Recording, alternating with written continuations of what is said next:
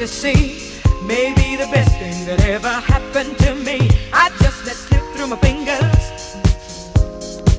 Like he was nothing at all. Nothing at all. Nothing at all. All my old friends are out of touch. And my own company doesn't thrill me too much. Right now it's hard to imagine. I used to believe.